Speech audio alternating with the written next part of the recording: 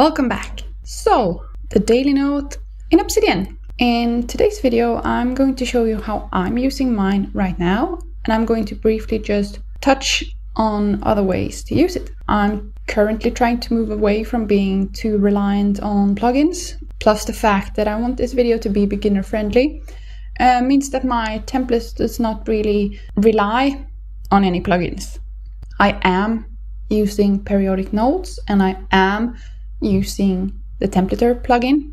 But the template for the daily note I use myself can be used without any community plugins if you don't use the YAML at the top of the page here. That's the text with the three dashes on either side of it. If you just remove that part, this template will work without any sort of community plugins. I'll have a link down below where you can just go and easily copy paste this template. I mean, you could just basically just write it down, but uh, I'll link you to where you can just copy paste it and use it for yourself. Feel free to use and change as you see fit. There's nothing here that's some new invention on my part, and everything is very simple. It's basically just four headings. There's nothing complicated about this at all. So, my own daily note has changed so many times, even though I've not used Obsidian for a year yet. These last few months, I've been without any real template or anything complicated because because all I wanted then was a place to quickly write down what I was doing during the day.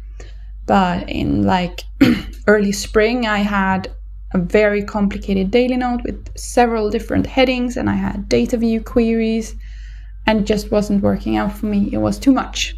But now that we're in the second half of the year and my life is getting a bit more busy, I felt the urge to start tracking some things again in Obsidian because it gives me a nice feeling of control. Note, it gives me a feeling of control. This is a trick I play on my mind that I am aware of. It's like a comfort blanket. Tracking things will only give you what you put into it. And no matter how many things you track, it will never give you control over your life. So, moving on. As you can see, I have three headings. I have the personal log, I have my daily log, and I have evening reflections. Under the heading personal log, I track my sleep, my mood, if I have a driving lesson or not that day, and any sort of physical activity. I track everything descriptively with backlinks. Uh, what that means is that I have a note called like feeling happy. Here, I'll show you instead. So as you can see here, this is just a note called feeling happy. I have some uh, hidden YAML and in this I have aliases where, where I just call the note happy. So in my daily note, I can either write that, you know, I'm feeling happy or I can just write if I'm more in the mood of just quickly picking everything up, I can just, you know, type double brackets happy and I know that I was happy that day and it will create a backlink. So let's try and just open up a daily note so we'll see how it looks when it's not in template mode. There you see the all the letters you saw. It just writes out that it's Sunday, July 9, 2023. So then the personal log then is for oh personal my, my personal stuff. And since I write it descriptively, I can Okay, so why didn't I continue using data view then? Because I can just use uh, tags or inline fields to write happy or slept well or whatever. But yeah, I could do that, and I did do that. But I want to have my notes um, as future proof as I can. And even though the note feeling happy or you know feeling whatever will be useless if I'm not in Obsidian or not in a software that uses backlinks, I'll still have all my daily notes where my logging is easily understandable because because they're just there in a descriptive way flowing with the rest of the text. So there won't be like a broken data view query if I decide to go to some other software or if Obsidian goes away or something. So anyway, my personal log, I go back during the day and add small stuff, not things that I'm actually actively doing because that would go under the daily log, but just small jots that are more personal, like how I'm feeling, physical activity, all that stuff I mentioned. I mostly use Logseq still for very personal things, more like journaling, diary type stuff. In Obsidian here, I'm logging some of the things that I feel can affect my productivity or my daily energy in some way. So under the daily log, I do most of my thinking. So here are sort of more active thoughts rather than the more internal passive personal stuff. I always put a timestamp uh, when I write down something.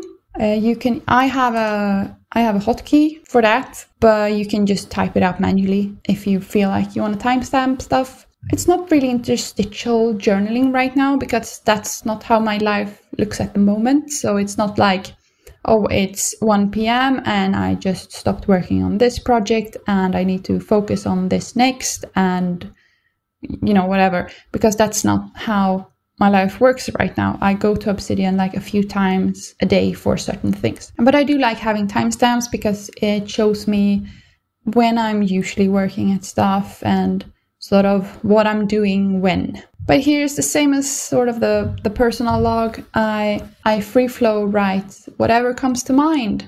If I'm watching something on YouTube and I have a thought, I start writing. If I have an idea for something, I start to write it here. Sometimes it gets its own note, sometimes it doesn't. Um, I used to always create a new note as soon as I had like the smallest idea. I'd use a new note and I start writing, but I had so many basically orphan notes that it wasn't really working out. So instead, I try to do a lot of my initial writing under the daily log. So, as I said, sometimes it gets its own note straight away, sometimes it doesn't, sometimes it gets a tag. Yes, I am a heathen. I use both backlinks, tags, and folders all at the same time. I use tags when it's more of a concept than a, something that deserves its own note. And then when I have a lot of things under this tag, I think hmm, maybe this is something I need to check out. Do I have a good example of that right now? Of course not. You're here for the chaos, not for the finished, polished product, right? right? No, but I do tag certain things, and sometimes I think that, hey, maybe this is a video or a blog post or something that would be worth researching. The, the daily log can sort of be more personal than the personal log because even if it's called the personal log, it can be sort of cold if all you do is writing down, I'm feeling this, I slept like this, I ate this, I exercised in this way. But the daily log, that that's your mind. That's what you're thinking about during the day and how you describe your brain to yourself, sort of. You can't really escape yourself and your mind if you truly use the daily log as a daily log. It's interesting to go back and realize that, hey, when I felt like this, I was really interested in researching this thing. Is that connected? Since I want to be better at sort of tying everything up and remember my days as separate as separate events and not just a big mush of time, I have this heading right here called evening thoughts. And here I try to do like a summary of my day, sort of like what I've been doing, how I've been feeling, what I did yesterday and what I'm going to do tomorrow and what that means uh, for me. And I, I mean, I try to sort of reflect on the events and if I learned something new or any plans or goals for the next day. It's just a way for me to wrap up the day and prepare for the next one. This is mostly a paragraph or two just to sort of remember what the day was all about. And it might not be something that I need to go back and reflect on later, it's mostly like a mental exercise for me because my mind sort of does not trust the time space continuum. so I have a difficult time putting boundaries on my day. Everything just sort of flows together. And when I look back a week later, I'm not sure what I did on Monday versus what I did on Thursday versus what I did on Saturday. So it's just an exercise for me in trying to get better at, you know, where do I exist in this time space continuum right now? okay, So let's just briefly and verbally touch on some other ways you can use the daily note in Obsidian. You can use it for straight up journaling. Many people use the daily note as a journal or just writing about their thoughts, experiences, and emotions throughout the day. When I think of using the daily note as a journal, I'm thinking just opening up the note, no template, no nothing, and just write about whatever without being stuck on today or what needs to be or has been done during the day. It's sort of more like a, a, a diary and not a daily log or plans for the day or anything like that. It's mostly just like a straight up diary. You can also use it as just an idea catcher, just open it up, capture random ideas that comes to mind, sort of like the daily log, but without so much linearity. Maybe with a link, maybe not, but just without linearity, just write down whatever comes to mind.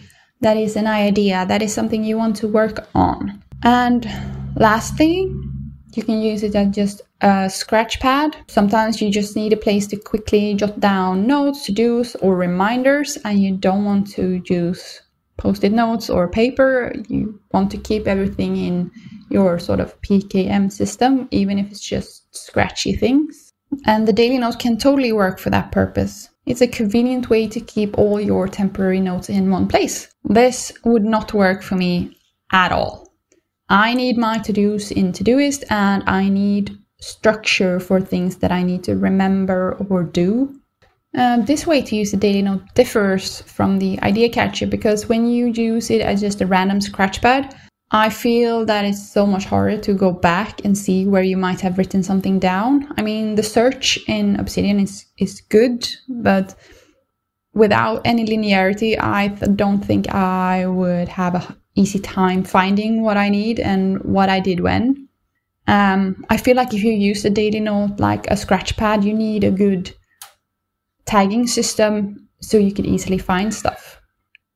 So that was a quick overview on how my daily note looks right now. And uh, three other ways you could use the daily note, like a journal, like an idea catcher, or like just a random scratch pad. Now, I would love to hear down in the comments how you use your daily notes.